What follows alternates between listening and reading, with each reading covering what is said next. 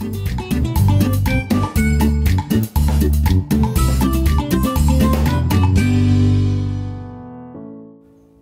apa kabar semua? Jumpa lagi di Ruang Integrasi. Kali ini Ruang Integrasi hadir dengan sesuatu yang baru dan kita akan mulai dengan audiobook. Ini adalah sebuah cerita yang saya explore. Ini akan menjadi sebuah cerita baru dan cerita ini adalah fiksi belaka saya mohon maaf terlebih dahulu kalau misalkan ada kesamaan nama, tokoh, maupun tempat dari cerita ini. Kita akan mulai dengan cerita baru yang berjudul tentang Aku Kia dan Kampus Biru. Cerita ini nanti akan terbagi dalam banyak episode dan kita akan masuk ke episode pertama Surat untuk Kia.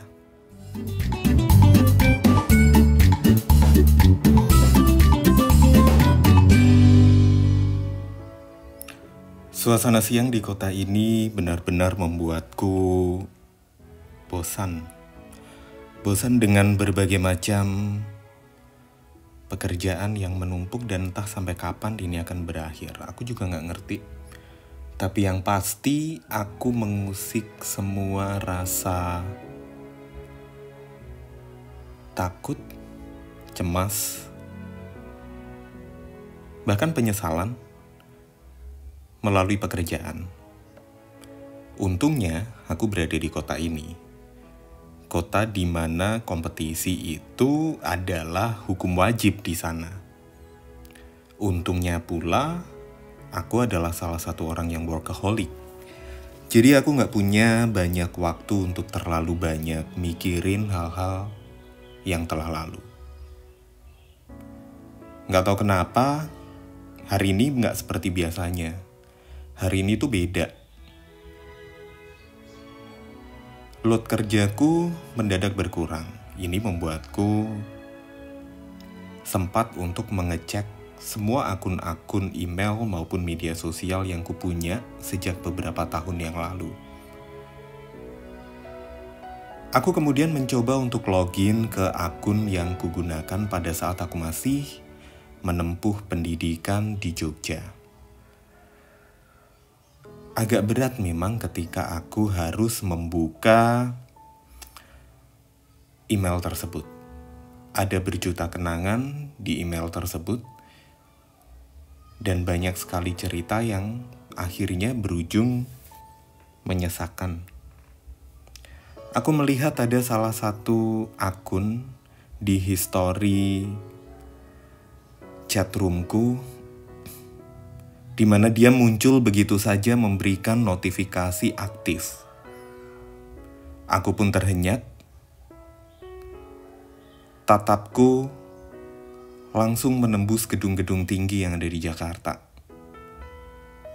Imajiku seolah melayang terbang ke Jogja, sedikit mengenang tentang apa yang terjadi berbilang tahun silam. Aku cukup lama merenung dan melihat gedung-gedung tersebut. Anganku langsung berjalan menyusuri gedung dan juga terbang menuju ke Jogja. Landing di Sucipto dan langsung menuju ke kawasan Gajah Mada. Kawasan kampus biru. Tempat di mana aku dan dia bertemu hingga akhirnya terpisah dengan cara yang sangat tidak mengenakan.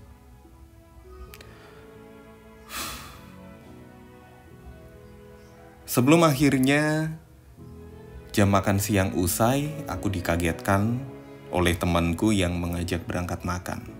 Tapi agaknya lamunan ini terlalu sayang untuk dilewatkan begitu saja. Aku pun meminta tolong kepada OB untuk membelikan makan siang apa aja dan membawanya ke mejaku.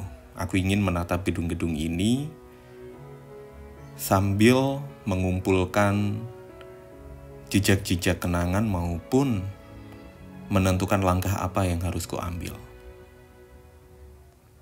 Tak lama berselang, Aku pun memberanikan diri untuk melakukan apa yang sebenarnya sudah kupikirkan sejak berbilang waktu silam.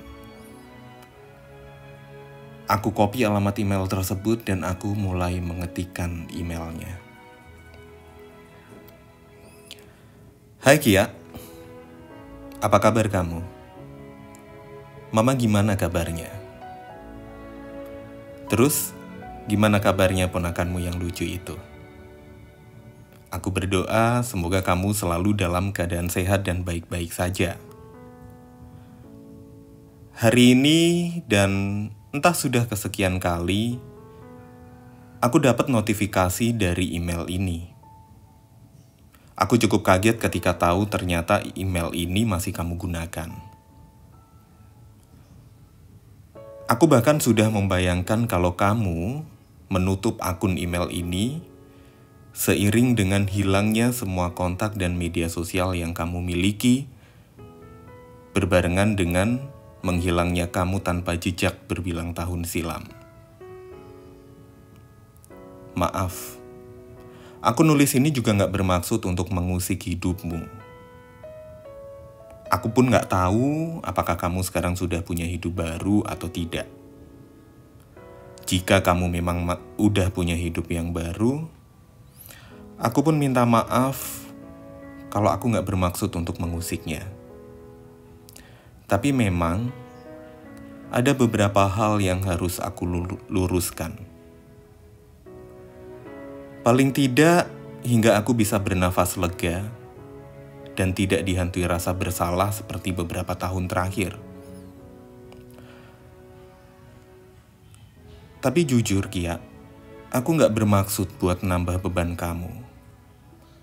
Kamu bebas untuk mengabaikan email ini atau bahkan menghapus selamanya setelah kamu baca email ini secara utuh. Aku hargai apa pun keputusanmu.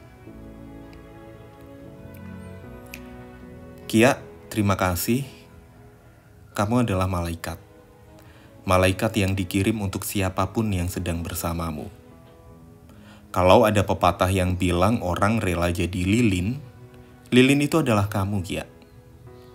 Kamu selalu rela dan ikhlas dirimu sakit demi kebahagiaan orang lain. Tapi sayangnya, tidak banyak orang yang bisa melakukan itu, termasuk aku dan kebodohanku. Terima kasih, kamu adalah orang yang selalu memotivasi agar tesis ini selesai. Terima kasih kamu adalah tim evakuasi yang baik. Kamu sering mengevakuasiku dari Tugu maupun Adi Sucipto, bahkan saat ketika aku akan melakukan sidang proposal saat itu. Terima kasih untuk kamu yang selalu ada buat nguatin aku ketika adikku bertaruh nyawa untuk hidupnya di rumah sakit. Satu hal yang bikin aku makin menyesal dan terbebani adalah aku gak sempat berterima kasih secara langsung kepada kamu dan aku juga gak sempat ngabarin kalau ternyata adikku udah gak ada. Alun-alun kidul menjadi saksi gimana di hampir tengah malam kamu nguatin aku. Tapi ketika aku mengingat apa yang terjadi berbilang bulan berikutnya, mendadak aku menjadi orang yang paling bodoh di dunia karena aku tidak bisa melakukan apa pun untuk menolongmu. Maaf.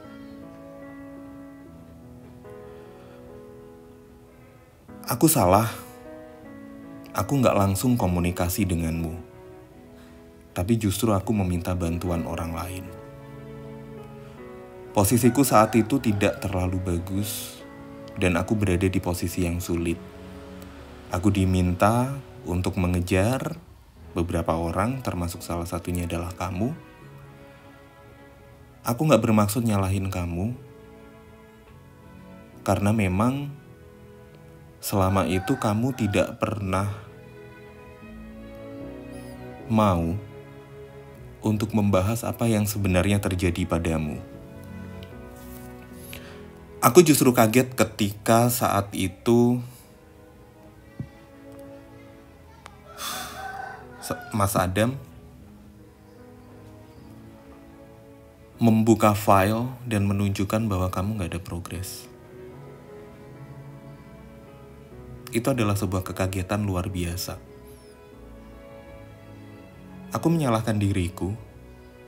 Kenapa justru dalam situasi seperti itu, aku justru gak ngerti kalau kamu ternyata gak ada progres dan terancam mengalami ini semua.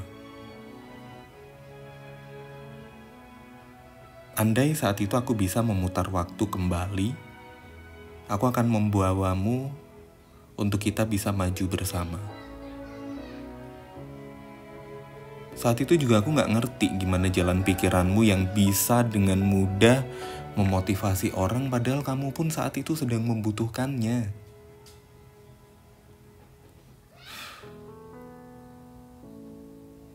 Hingga akhirnya aku harus mengambil langkah bodoh tersebut melibatkan banyak orang yang kemudian justru membuatmu hilang, tak berbekas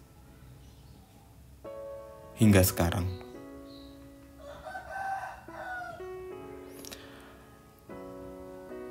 Selain permintaan maafku tadi, aku juga harus meluruskan sesuatu. Memang pernah ada cerita di antara kita.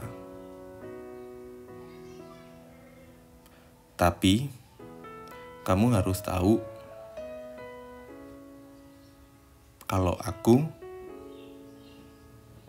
adalah orang yang sangat menghargai pertemanan dan persahabatan. Aku rela menekan semua ego dan hidupku saat itu berbilang tahun sebelumnya hanya karena aku ingin satu kamu bahagia yang kedua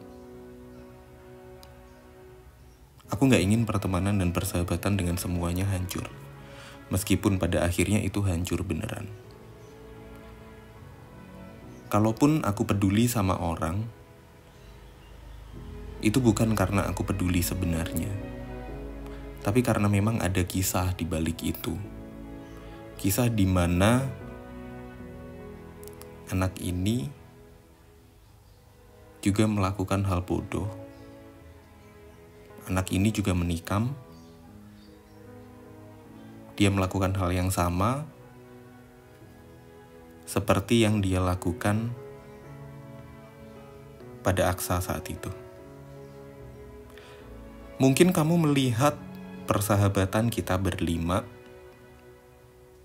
dan kamu juga melihat bagaimana aku dekat dengan Awan saat itu. Bahkan menganggapnya saudara. Lalu apakah aku benar-benar menganggapnya saudara saat itu? Jangan bercanda. Enggak. Aku nggak sebodoh itu untuk hanya sekedar menginginkan orang lain berubah, menginginkan orang lain menata hidupnya. Bukan, itu bukan aku banget. Aku terlalu liberal dan otakku terlalu matre untuk sekedar peduli dengan orang lain. Terus apa yang sebenarnya terjadi?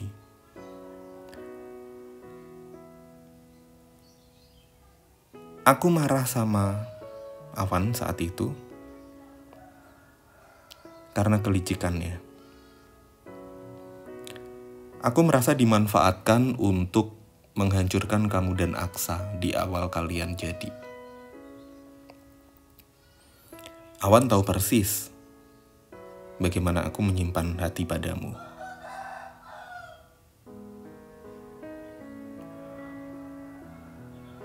Aku sebenarnya nggak mau cerita ini sampai kapan pun. Aku pengen taunya sebenarnya yang kamu tahu cuman bagaimana kamu setelah dengan Aksa dan kemudian kita jalan. Aku sebenarnya hanya ingin di batas itu saja. Tapi semakin lama aku semakin ingat kalau ada hal yang memang harus kuluruskan. Karena aku gak mau kamu berpikir aneh-aneh dan macem-macem. Gitu.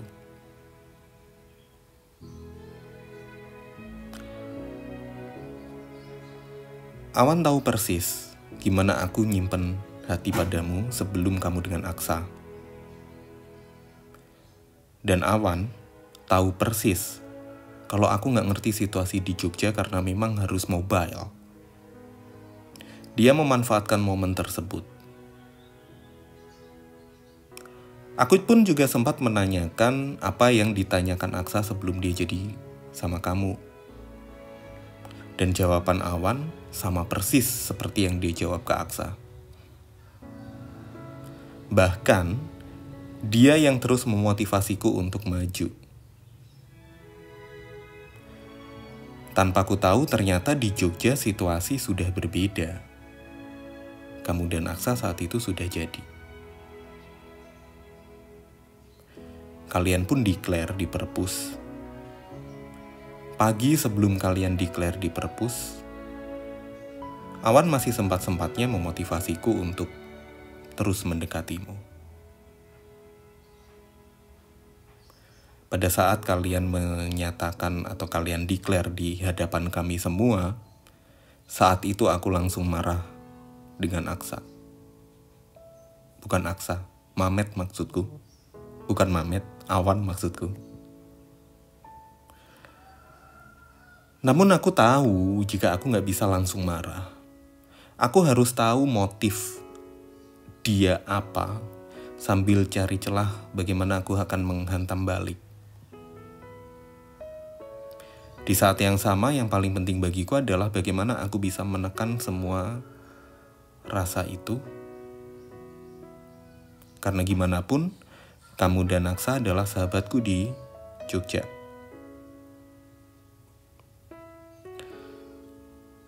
Lebih baik aku diam dan membunuh rasa dan mengubahnya menjadi persahabatan. Berat dan sangat berat. Jadi, semua marahku ke Awan bukan karena dia atau bukan karena aku ingin mengubahnya ke kehidupan yang lebih normal, ke kehidupan yang lebih baik dari kehidupan belangsaknya dia bukan. Itu semua hanya covering dan alasan yang ku cari-cari agar semua terlihat baik-baik saja. Kemarahanku ke awan yang sebenarnya memuncak saat kita, aku, kamu, dan Tanti ngopi di Jakalatas. Di sana kamu cerita segala yang ternyata ada kisah antara Awan dan Aksa bagaimana Aksa menanyai Awan dan semuanya. Saat itu juga kamu sempat ke toilet. Aku tanya ke Tanti, ternyata emang dia udah tahu situasi yang sebenarnya. Dia juga udah tahu kondisi seperti itu. Dia juga udah tahu kalau aku memang dimanfaatkan oleh Awan. Aku pun sempat marah ke Tanti. Aku marah sama dia karena dia nggak bilang Karena merasa ditipu dan dibohongin itu tadi, itulah yang membuatku masih menyimpan bara api ke awan bahkan hingga hari ini.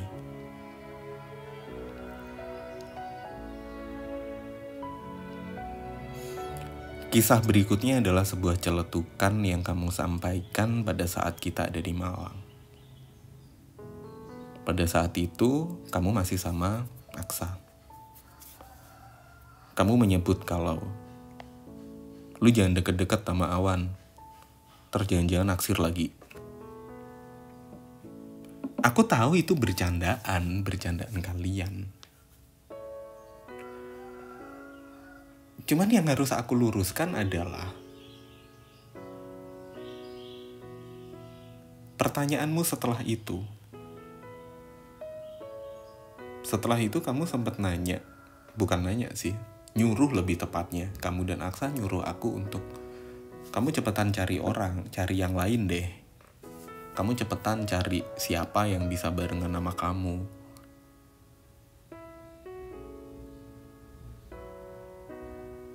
Yang aku harus ngomong adalah saat itu aku memilih untuk diam. Bukan karena gimana-gimana.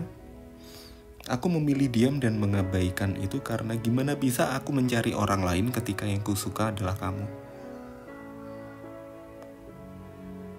That's the problem, Kia. Gitu. Aku merasa harus meluruskan ini karena kamu meninggalkan aku, kami semua, dalam sebuah situasi yang sangat tidak oke. Okay. Dan aku pun juga belum sempat untuk cerita ini. Cerita yang sebenarnya pada saat kita jalan bareng. Terus kenapa sih aku harus nulis email ini setelah setengah windu kita lost contact? Kenapa juga aku nggak bicara langsung padamu saat itu?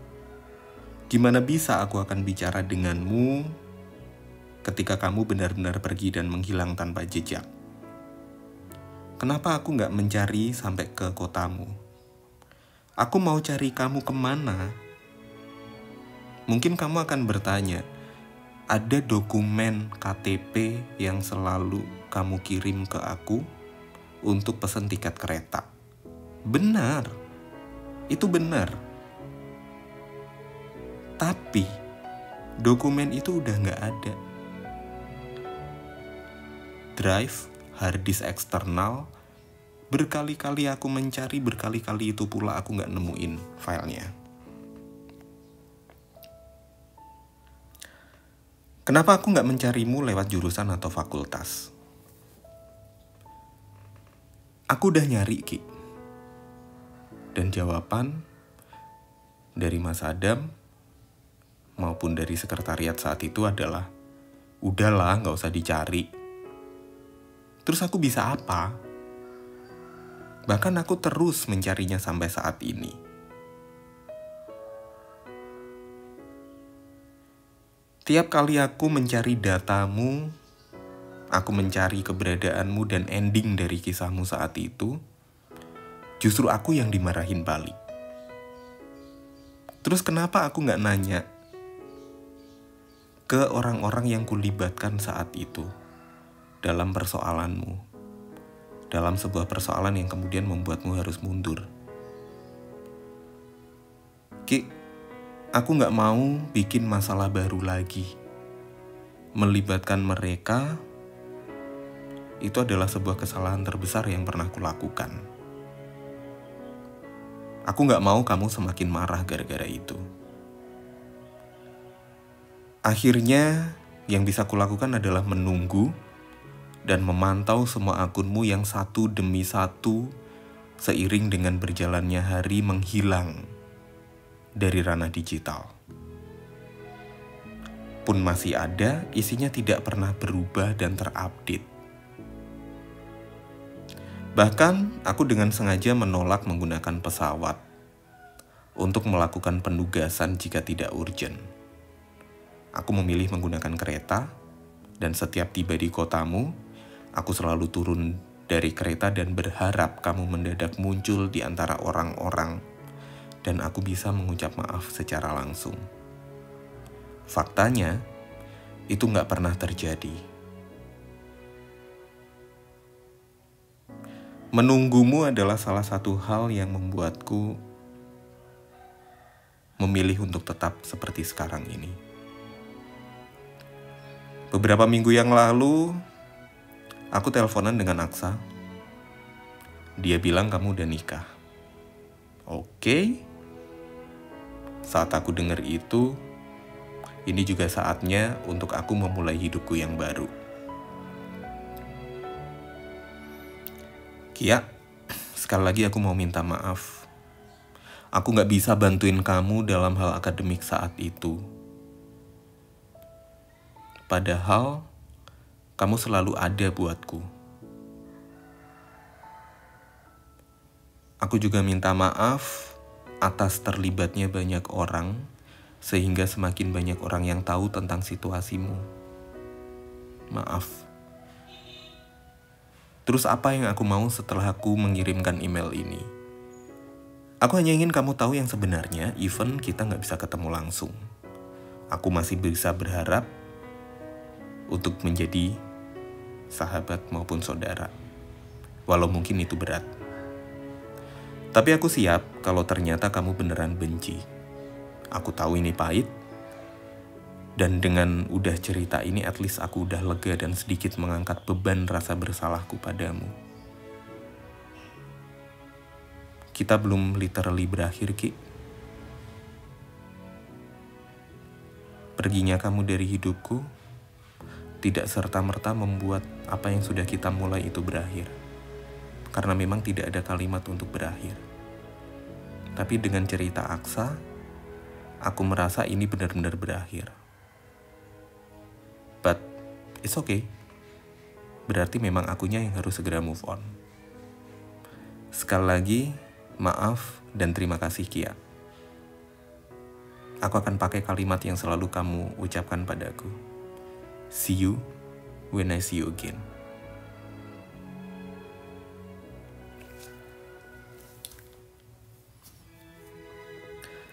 Ya, teman-teman, jadi itu tadi adalah uh, kisah di audiobook ini kalau pengen tahu tentang kelanjutan dari Aku Kia dan Kampus Biru, silahkan subscribe Ruang Integrasi dan nanti teman-teman bisa dapetin update-nya. Sampai jumpa.